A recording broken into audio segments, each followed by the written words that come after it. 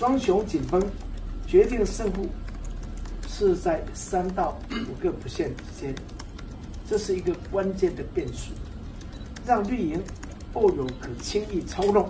只要谁好打，谁容易争乱，就支持谁的大好机会。换言之，国民党的初选有被民进党操弄决定候选人的重大疑虑。以上结会杞人忧天，各阵营已经出现或主张退出初选，职工大选，或呼吁停办初选，奇奇怪怪的初选。